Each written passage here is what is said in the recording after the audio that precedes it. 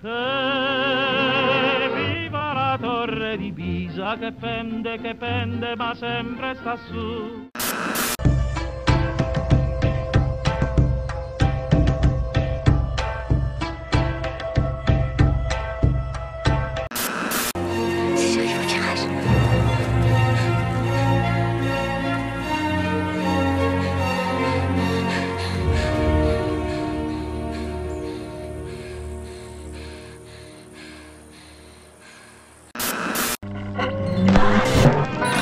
Uh...